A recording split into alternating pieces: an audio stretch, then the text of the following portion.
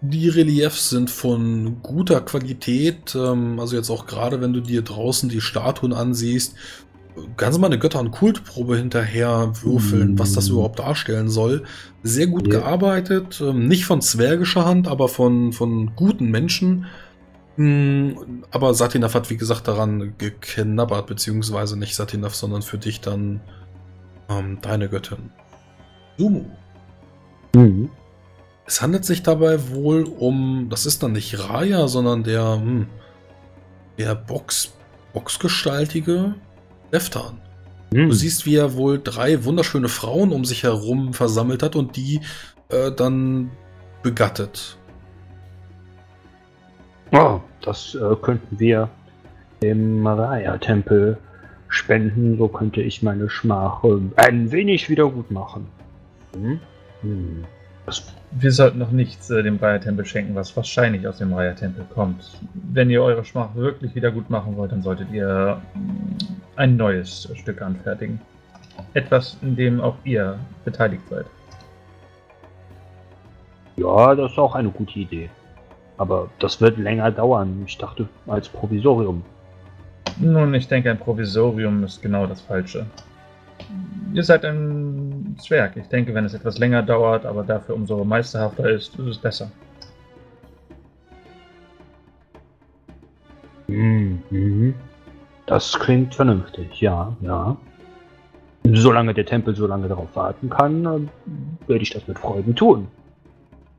Ich habe bereits ein gutes Wort für euch eingelegt und nun, ich denke, etwas guten Willen haben wir schon geschaffen.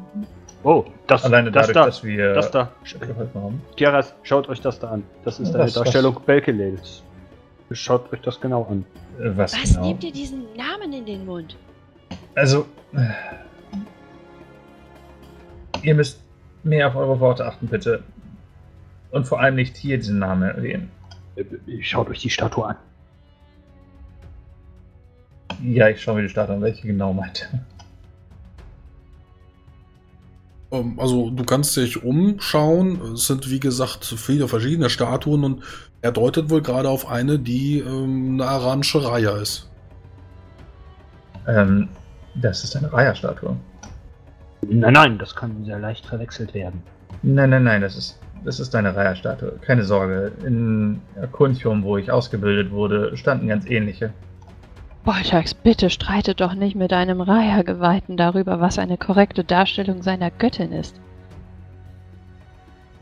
Was äh, Chiaras gerade viel mehr interessiert als die gotteslästerlichen äh, ja, Aussagen eines Zwerges, ist das Nebengebäude, denn über die gesamte Breite eures äh, eigenen kleinen Geländes kannst du Boxen für Pferde erkennen. Zwölf Stück könntest du da wohl unterbringen. So insgesamt äh, dann auch noch äh, Überstände und auch ein Dachboden für Stroh, Pferdefutter. Also ein Traum für ein Rayani. Oh, das ist eine wundervolle Überraschung tatsächlich. Ich hatte mir schon Sorgen gemacht, wo wir unsere Pferde unterbringen können. Und ich bin tatsächlich überrascht, dass wir alle mit unseren Pferden äh, auch gesund wieder zurückgekehrt sind. Ja, ich mache mich dann direkt daran auf und äh, erkund die Stelle mal genau. Ja, ihr habt wie gesagt auch ein äh, eigenes kleines Archiv ähm, und wenn ihr euch so ein bisschen umgesehen habt, ein bisschen satt gesehen habt, äh, alle so ein bisschen dann den Staub von den äh, einzelnen Gegenständen dann geputzt habt, könnt ihr euch, glaube ich, so nach ungefähr zwei Stunden dann äh, hochzufrieden im Salon wieder einfinden und dort dann auf den ja ebenso staubigen ähm, Couchen beziehungsweise ja Sitz Sitzgelegenheiten Platz nehmen, es gibt auch so Sitzsäcke, aber gerade wenn dann auch so im Salon eine Couch angeboten wird mit kleinen Beistelltischchen, dann könnt ihr euch die so ein bisschen zurechtrücken und dann im Obergeschoss eures neuen Gebäudes Platz nehmen, was dann ebenso ein neues Quartier sein kann, zusätzlich zu dem, was ihr in Garat erst vor kurzem bekommen habt. Und wir sollten ja eine gründliche äh, Reinigung äh, durchführen. So kann man doch nicht leben in diesem Dreck. Ihr wollt also eine Haushälterin einstellen? Äh, nun zumindest eine Putzkolonne einmal durch das Haus äh, streifen lassen. Wenn wir dieses Haus dauerhaft behalten, müssen wir tatsächlich jemanden einstellen oder vielleicht sogar mehrere Personen, die das Ganze im Stand halten. Ich hätte einen Vorschlag. Ihr, ihr wisst doch, diese Kriegerin aus Barbarin, die ich kennengelernt habe. Ihr wollt eine Kriegerin als Putzfrau einstellen? Nein, natürlich Sie nicht. fühlt aber, sich sicher geehrt. Nein, natürlich nicht, aber sie könnte doch äh, dieses Haus in unserer Abwesenheit äh, nun zumindest verwalten und sich um die alltäglichen Dinge kümmern. Ich weiß nicht, ob sie das machen will, aber es wäre zumindest eine Möglichkeit. Ich Ja, ist denn so eine nicht, dass eine Kriegerin, die vor allem im Auftrag äh, der Garde hier steht, äh, unbedingt dafür geeignet ist. Ja, ganz eurer Meinung, das wollte ich auch sagen. Sie hat Woher wisst andere ihr denn? Verpflichtungen. Richtig, eine Kriegerin hat ja andere Aufgaben, als irgendwo äh, die Hauswirtschafterin zu spielen. Das ist richtig. Ich, ich würde ja hier das, das als Korrelier anbieten. Und äh, im Gegenzug kümmert sie sich um, nun ja, die täglichen Verrichtungen. Also, wenn ihr so dringlich ähm, Sex haben wollt, aber mir, dann geht das einfacher. Oh, wie Und weitaus Echt? Darum geht es? Nein, natürlich nicht. Also diese, diese, diese Ich bin jetzt noch Unterstellung. enttäuschter. Aber mir, ich bin ein Reihergeweihter. Immer diese Unterstellung. Ihr unterstellt mir die, die niedersten Motive. Weil die meist richtig sind. Das mag, mögt ihr vielleicht denken, aber meine Motive sind rein und edel. Ja, okay. Nun gut, äh, wenn ihr das nicht wollt, dann findet eine andere Lösung.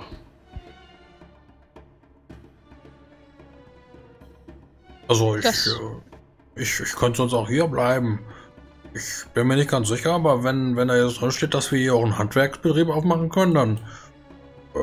Also Staubputzen und Wischen mache ich nicht, aber wenn ihr wollt, kann ich hier bleiben und äh, vielleicht zimmer ich irgendwas zusammen. Mit Artefakte oder sowas bauen kann ich nicht, aber. Ich habe hier so, so ein paar Sachen von, von Abel mir und dem Streitwagen angesehen. Vielleicht zimmer ich ein paar Streitwagen zusammen. Warum Bist du dir sicher, dass du hier bleiben möchtest, Ignar? Warum nicht? Also. Ich weiß nicht. Ich. Ich glaube, wenn ich. Vermisst Torgosch, weißt du? Und wenn ich. Ja, ich verstehe das. Nein, nein, verstehst du nicht. Wenn ihr jetzt wieder gegen diesen schwarzen Drachen zieht und, weiß ich nicht, vielleicht nach Wahrung oder so wollt, oder wo auch immer, dann.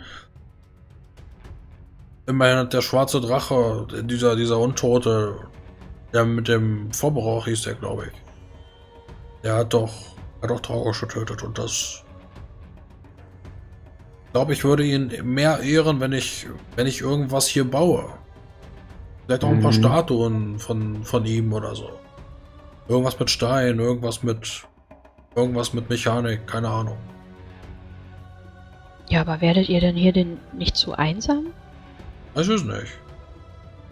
Ich habe keine anderen Zwerge gesehen. Also das, was Aviander sagte mit den äh, Zwergen, die auf den Elefanten reiten, das stimmte ja nicht. Das waren ganz normale Menschen, die sahen einfach nur kleiner aus. Sollte es hier nicht Brillanzwerke geben, nennt man sie? Keine Ahnung, ich habe noch keine gesehen. Nun, im Kunstraum habe ich einige getroffen. Den Kunscham? Ja, auf der Durchreise Händler überwiegend. Und ich glaube, in Fasad gibt es auch ein, eine Kolonie Zwerge, könnte man sagen. Weiß nicht, Boltax, ich bin mit dir hierher gekommen Hm. wegen, weil der, weil der Hochkönig das sagte. Und eigentlich sollten wir ja nach Gareth, aber das ist ja auch kaputt. Und glaube, wenn du, wenn du alleine klarkommen würdest, dann Ja, ja, ich denke schon, es ist natürlich betrüblich, dich äh, hier lassen zu müssen, aber wenn du denkst, dass du hier deinen gefallenen Freund besser ehren kannst, ich habe zumindest keine Lust, äh, in die schwarzen Lande zu ziehen. Nicht, wenn es um Untote geht. hm, Das kann ich noch besser verstehen tatsächlich. Und Igna, ich denke, wenn du es bist, der auf das hier aufpasst, dann können wir ruhig schlafen. Ähm, Igna, aber wenn du über deinen Verlust sprechen möchtest, dann können wir uns gleich noch mal ein bisschen Zeit nehmen. Ja, das können wir gerne machen. Ich habe es mittlerweile auch gut, gut überwunden, aber wie gesagt, stell dir vor, ich begegne. Was, was ist denn, wenn. Ich meine, wir haben Torgosch verbrannt, aber. Stell dir vor, wir, wir sehen da drüben andere Zwerge, die tot sind. Es gab Ja, da drüben, drüben gab es viele Bing, die allesamt verloren sind. Ja, ich weiß, ich weiß, ich war mit Xenos. Ähm, naja, einer gewissen Zeit zur Evakuierung dort. Ach, viel ist dort passiert. Hm. Kann verstehen, dass du dann, nun ja, eine gewisse emotionale Fallhöhe hast, wenn du andere Zwerge sehen würdest. Es ist ja auch furchtbar, was dort geschehen ist. Wie viele unschuldige Zwerge vermutlich zu Untoten geworden sind. Kann das gut nachfühlen und es noch besser verstehen, dass du hier mit deinem Handwerk ein Zeichen setzen möchtest für deinen verstorbenen Freund. Immerhin bin ich Handwerker. Das ist das, was ich gut kann. Kann auch mich um Eisbären kümmern, aber ich kann mich auch ge um Gepäck kümmern oder sowas. Aber das, das ist nicht das, wie ich, wie ich ausgebildet worden bin. Und kann Torgosch einfach besser werden, wenn ich hier bleibe. Ja, und so könntest du uns auch unterstützen, wenn du hier die Stellung hältst und hier ein Ankerkopf bist für unsere Sache. In Aranien. Nicht wahr? Und ich schau mal die anderen an. Ja, natürlich werden wir dir noch Hilfe besorgen müssen. Zumindest ein Gärtner und ein Hausmann, Hausfrau. Ich weiß nicht, was hier üblich ist. Ein Visier. Irgendein Haushälter oder so etwas. Ja, Visier nennt man das alles hier. Ja, Igna, wenn, wenn das euer Ruf ist, dann, dann wird da was dran sein. Wisst ihr, was ich als erstes mache? Wenn ich Geld verdient habe, dann kaufe ich mir einen eigenen Elefanten. Ja, das, das ist eine gute Idee. Der erste zwergische Elefantenreiter. Das gefällt mir. Kauft dir einen Jungen, sie prägen sich sehr, sehr früh äh, an. Ich werde dich vermissen, Igna. Er kommt einfach wieder her. Ich meine, das ist euer Haus. Und wenn hier irgendwelche anderen äh, Knilche mit weißen Roben ankommen, so wie du, Isarun, dann gebe ich ihnen einen Kuss von dir. Ja, das wird sie sicherlich freuen. Kriegen sie ein paar Bildsuppen von mir. Oh, sehr gut, sehr gut. Du kannst auch etwas Bier brauen. Das hier in Zorgan, das schmeckt dir doch etwas fad. Naja, genügend, genüg Wei genügend Weizenfelder hat Aranien ja. Ja. Bier, Pilze, Statuen, Streitwägen. Schauen wir mal nach, was äh, ich so mit meiner freien Zeit tue. Bin nur noch jung. Da Die geht einem das, nächsten, die nächsten 400 Jahre werden äh, wie im Fluge vergehen. ah, da geht einem das Zwergenherz ja richtig auf. Muss Bier, noch mal mit der, muss noch mal mit der Madabasari sprechen. Immerhin gehört das Haus ja nur für 100 Jahre und äh, weiß ich gar nicht wohin damit. Also äh, muss ich noch mal nachverhandeln. 300 Jahre bräuchten sicherlich auch mehr, damit ich das hier verwandeln kann. Das ist ja ein langfristiger Plan von euch. Aber ich habe da oben bei dem einen Zimmer, da habe ich äh, ein Zeichen an eine, an eine Tür gemalt. Wenn welche von meinen Brüdern und Schwestern hier auftauchen, sagt ihnen einfach, die sollen da hingehen. Ja, ich, ich äh, bestelle Grüße von Rafim und dann sollen die, also sollen die mal machen. Ja, vielleicht kommt hier auch nie einer vorbei, aber wenn, dann warum nicht? Äh, dort unten ist eine verschlossene Schatzkammer. Vielleicht findet ihr dort noch etwas, äh, was ihr gebrauchen könnt. Ja, so ein Vorhängeschloss hält mich nicht auf. Das dachte ich mir. Fühlt euch wie zu Hause, könnte man sagen. Ähm, äh, naja, also wenn das hier einmal ein, ein Haus war von einem, der während der Magierkriege, also vor 400 Jahren oder so gelebt hat, ähm, vielleicht sind da noch gefährliche Sachen im Keller. Ähm, Isarun, vielleicht solltet ihr mal gucken. Ja, ach so, das Gebäude hat auch noch einen Keller. Das eine ist das nicht ungewöhnlich für, für aranische Gebäude? Ähm, Ich dachte, die Schatzkammer sei im Keller. Nö, die ist irgendwo oben, glaube ich. Ja, Die Schatzkammer ist schon oben, also du kannst sehen, dass es wohl sowas wie ein, ein großes Schlafzimmer gibt, das sowohl dem Erbauer der Villa gehört hat, zumindest ist das größte, daneben auch das Haremzimmer, ähm, wo dann die ganzen Frauen dann äh, genächtigt haben, als das eben noch ein Patriarchat war. Und ähm, da angrenzend dann die Schatzkammer. Ja, okay, dann habe ich das Im missverstanden. Obergeschoss ist das. Okay, gut, dann haben wir uns jetzt um die Villa gekümmert. Igna kümmert sich darum. Das klingt doch schon mal gut. Aber was machen wir denn jetzt? Naja, aber Boltax hat natürlich schon recht. Ich werde mir alles ansehen. Ihr müsst auch entschuldigen, Boltax. Ich wollte euch vorhin nicht so anfahren während, wegen des Namens, aber ihr habt natürlich nicht den akademischen Hintergrund, den ich zum Beispiel genossen habe. Und mit solchen Namen müsst ihr wirklich sehr, sehr vorsichtig sein. Ja, ist schon gut. Das äh, ist, ist in Ordnung. Ich hab's ja selbst gemerkt. Ich hätte mir auf die Zunge beißen können, aber da war es schon rausgeflutscht. Also, Keine Sorge, Beutag, spätestens in Jolgormak, als wir wieder raus waren, da, also als es zu spät war, da wusste ich auch, dass es mit den Namen, äh, wie das da funktioniert. Und dann haben wir Iserung getroffen. Haben wir sie kennengelernt. Faszinierend. Was machen wir jetzt? Also, wo wo gehen wir jetzt hin? Also, wenn Igna hier bleibt, gehen wir jetzt nach Beilung und dann nach Wahrung und gucken mal, ob wir irgendwas über den schwarzen Drachen rausfinden. Sehe ich das richtig? Oder Ja, ehrlich gesagt, Romilys. halte ich es für eine törichte Idee, eine, ähm, einen Ausflug nach Wahrung zu planen, ohne die entsprechenden Waffen, die gegen den schwarzen Drachen hergestellt worden sind. Die Lanze? Ist ja auch nicht wirklich irgendein Vorteil, jetzt nach Beilung zu gehen. Aus persönlichen Gründen würde ich natürlich gern wieder einmal nach Beilung zurückkehren. Ähm, und ich denke auch, möglicherweise könnten uns die dort herrschenden Geweihten und äh, Gelehrten weiterhelfen auf der Suche nach Informationen über den schwarzen Drachen. Allerdings sehe ich ein dringlicheres Ziel im Mittelreich selbst. Wo jetzt genau? Da brennt's ja an mehreren Stellen. Richtig, also wir sind ja auf der Reise hierher schon in eine Zone gekommen, in der schlimme Albträume herrschten. Dieses Vielleicht sollten wir Finstermarkt-Ding. Äh, Vielleicht sollten wir dorthin gehen. Die Finstermark wollt ihr gehen. Oh, du, Nennt Beutag, es ich doch bin, nicht so. bin froh, dass ich nie wieder träumen muss. ja, das war furchtbar. Ich Ähm, weiß schon, warum Zwerge nicht träumen. da ist doch auch dieser eine Mann hingegangen. Wie hieß der nochmal? Mit dem wir rumgereist sind damals. Meinst du Anzwin? Kann wohl so ein Anzwin gewesen sein. Ich weiß nicht mehr, wie er heißt. Der ist da auch irgendwo am Rumlaufen. Vielleicht Richtig. treffen wir den ja wieder. Aber von mir aus können wir da hingehen. Also ich habe da nichts gegen. Ich weiß nicht genau, was wir da machen, aber da wird schon sich irgendwas finden. Ich schätze, alles, was uns hilft, den schwarzen Drachen zu bezwingen, ist äh, positiv. Also ich muss irgendwann noch mal diesen, diesen, ach, was stand denn auf diesem Zettel? Xeran. Ceran, genau, diesen Ceran. Da, der hat irgendwie diesen komischen Kelch, den ich brauche. Aber ich habe keine Ahnung, wo der Mann ist und wer der Mann, ehrlich gesagt, ist. Aber Sag mal, Isaron, du wurdest doch auch von diesem Skalpell angegriffen, oder nicht? Ist, fehlt dir jetzt auch ein Stück vom Finger oder sowas? Äh, nein, nicht vom Finger. Äh, hier aus der Seite.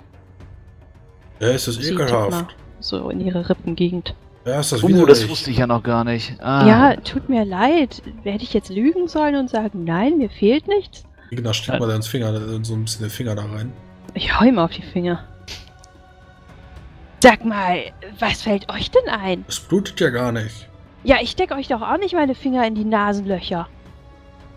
Das wäre auch ein bisschen eklig. Ja, eben. Siehst du, Igna, das ist ekelig. Meine Finger gewaschen. Gestern. Ich möchte trotzdem nicht eure Finger in mir haben. Das ist widerwärtig. Entschuldige. Also so ein Schlagring, das ist natürlich ganz was anderes, Igna. Den kann man da schon mal verstecken. Aber Ja, Aber die Wunde, die Wunde von ihr ist ja viel zu klein. Naja, egal. Aber irgendwann müssen wir diesen Ceran dann nochmal auftreiben, aber ich glaube jetzt nicht, dass das viel Eile hat. Von mir aus können wir uns auch erst gerne diese Pinst. Wie soll ich, ich soll es ja nicht so nennen, Isarum, wie, wie soll ich es nennen? Apatien. Dapazien. Richtig, es ist immer noch Dapazien. Dann schauen wir uns erst Dapazien an. Finde ich auch gut. Dieser äh, Bote in dem Traum, dem wir begegnet sind. Ja. Erinnert mich nicht daran. Aber ja. äh, Wollte der nicht auch, dass wir irgendwas tun? Ihr wolltet, dass wir Drahtsassor, den schwarzen Drachen, aufhalten. Ja, aber ich denke, das ist eher so ein langfristiges Projekt, oder nicht? Also wir können da jetzt einfach hinreiten, aber ich glaube, dann sterben wir. Ja, ja, das meint, ich meinte jetzt auch nicht konkret direkt sofort davor gehen, aber vielleicht hat dieser Bote ja irgendwelche Hinweise hinterlegt oder so. Oder Also, weiß irgendwas. also, aber wir haben doch das letzte Mal gehört, dass der Drache auch irgendwo da rumläuft in der Patien, oder nicht? Der soll doch jetzt in Wehrheim sitzen, oder habe ich das falsch verstanden? So gehen zumindest die Gerüchte. Ob sie nun wahr sind, das müssten wir vor Ort feststellen. Und wenn wir nicht ihn auftreiben, können wir vielleicht irgendwelche von seinen, von seinen, ja, generell sind ja bei ihm Drachen, aber vielleicht finden wir irgendwelche anderen Leute, die ihm unterstehen, irgendwelche Diener oder so, und dann können wir die ausquetschen. Aber die sind doch untot. Ist es nicht sehr schwierig, Untote auszuquetschen? Da habe ich nicht dran gedacht. Scheiße. Nun, ich denke, seine direkten Untergebenen werden nicht untot sein, sondern, nun ja, äh, Nekromanten. Genau, dann suchen wir uns dann Nekromanten, hauen dem aufs Maul und sagen, er muss uns alles erzählen, sonst klatschen wir ihn. Wie immer besitzt er einen naiven Charme, äh, mit dem ihr das vortragt. Ihr Ja, tut wir jetzt ja können- so, als wäre das halt zu schwierig. Wir können ihn auch einfach verzaubern. Und dann gibt er uns alles preis, was er weiß. Und danach verbrennen wir ihn. Ja. Das ist doch ein toller Plan. Wir hauen ihn aufs Maul, verzaubern ihn und verbrennen ihn. Jetzt brauchen wir nur noch einen. Ich schüttel nur den Kopf. Okay, also wir gehen in die... Wir gehen nach Tapazien. Müssen wir auf dem Weg noch irgendwas erledigen? Sind irgendwelche Dinge auf dem Weg, um die ihr euch noch kümmern müsst? Ist hier irgendwas, keine Ahnung, irgendein geheimer Pfeil des Lichtsauftrag, von dem wir nichts wissen oder sowas? Ja, davon würde ich euch auch bestimmt berichten. Ja, aber dann könntet ihr sowas sagen wie, ja, aber ich müsste noch mal nach Barbarin, weil ich müsste noch meine Tante besuchen. Und dann wüssten wir, okay, sie müsste dann noch mal nach Barbarin, versteht ihr?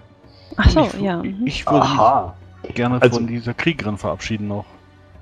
Wenn jemand Ach. sagt, er muss Ja. seine Tante besuchen, ist das unser Codewort in der Gruppe, dass er etwas machen muss, von dem die anderen nicht erfahren sollen. Wozu äh, braucht er dann äh, ein Codewort? Ich wusste nicht, dass wir das haben, aber ich bin eigentlich dafür. Klingt doch gut. Wieso braucht ihr ein eigenes Wort für eure Fäkalien? Was?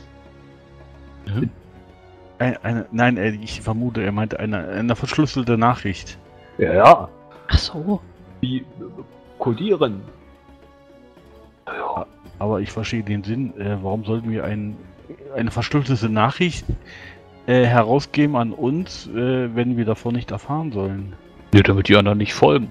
Und man die Ja. dann nicht umbringen muss. Also Iserun hat bestimmt auch irgendwelche Dinge, die sie für den Orden Dann der Pfeile des Lichts diese macht. Geheimnisse doch einfach für euch.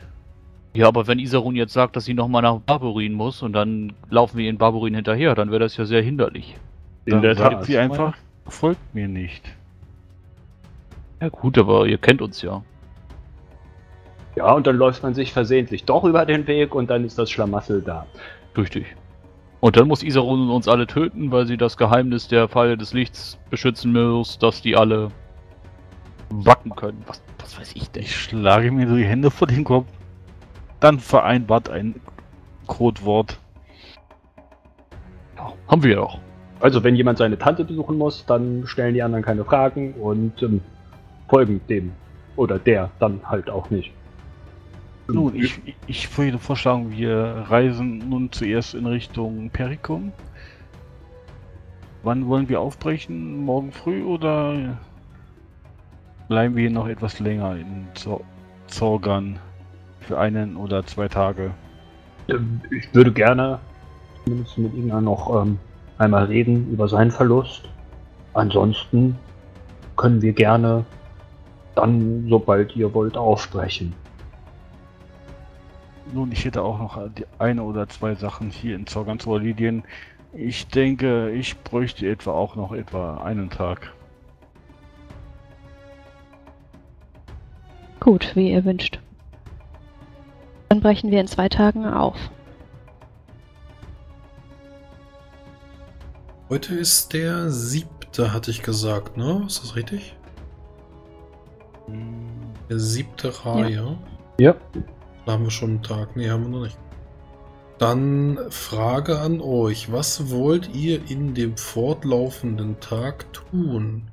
Wir fangen von unten an. Dann machen wir mit Chiaras weiter. Was möchte Chiaras tun? Und am liebsten würde ich ja eine Kamalqueste durchführen, dafür habe ich allerdings keine AP. Von daher mh, werde ich mich wahrscheinlich darum kümmern, mh, einen Gärtner zu organisieren. Ein Gärtner, ja. Und anderes Personal, das hier gebraucht wird. Ja, was möchtest du denn mit der äh, Frau machen, die du aus Keshal Tarif äh, ja nicht mitgebracht hast, aber die du dort gerettet hast mit Yasine? Ah, genau, ja. Mit ihr wollte ich tatsächlich auch noch einmal interagieren, vor allem nachschauen, wie es ihr aktuell geht, wie es ihr widerfahren wird, ist. Und ja, ich möchte auch vor allem mehr über sie wissen, wo sie überhaupt herkommt. Und vielleicht würde sie einen guten Kandidaten abgeben, um äh, hier eine Position zu übernehmen, damit sie in Sicherheit ist. Hm, Also du möchtest ihr eine, eine Aufgabe in der neuen ähm, ja, Heldenvilla anbieten? Ja, außer sie hat eigene, wichtigere oder bessere Pläne. Äh, Also sie hat gar keine Pläne. Sie hat ihr Leben in Keshal Tarif äh, aufgegeben. Sie hat damit abgeschlossen. Sie ist ein nervliches Wrack und wird ohne Hilfe, ohne Beistand äh, nicht weiter ihre, ihr Leben bestreiten können. Nun, dann möchte ich ihr doch helfen und äh, ihr eine Perspektive ermöglichen. Welche? Zunächst, dass sie hier ein neues Leben aufbauen kann. Okay, also du nimmst sie nicht mit, sondern du lässt sie hier am Haus. Ähm, ich werde sie, denke ich, definitiv hier lassen, weil sie mitnehmen in die Gefahren, wo wir höchstwahrscheinlich nicht lebend rauskommen, ist nicht die beste Idee. Gut, dann äh, kannst du dich den Tag mit ihr unterhalten und äh, ihr auch nochmal so ein bisschen. Ja, gib mir nochmal eine Heilkunde Seeleprobe. Kannst du auch nochmal äh, reinschmeißen. Natürlich.